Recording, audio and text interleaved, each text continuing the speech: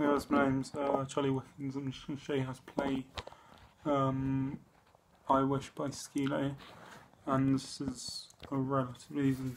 I just, just, just got four chords that repeat themselves throughout the whole song because um, it's looped, obviously. Um, and it's basically a major seven. It starts on the eighth fret, and then it goes to the fourth, then seventh, and then third. Um, so the shape is basically it's eighth fret, ninth, ninth, eighth, and you just move that around.